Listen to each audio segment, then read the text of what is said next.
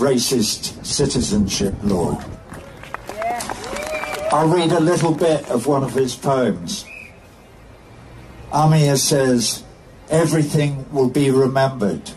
Kill us, we will become ghosts and write of your killings, with all the evidence.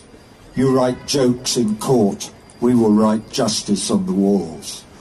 We will speak so loudly that even the deaf will hear. We will write so clearly that even the blind will read.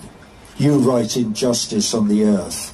We will write revolution in the sky. Yeah. I think this kid's got a future.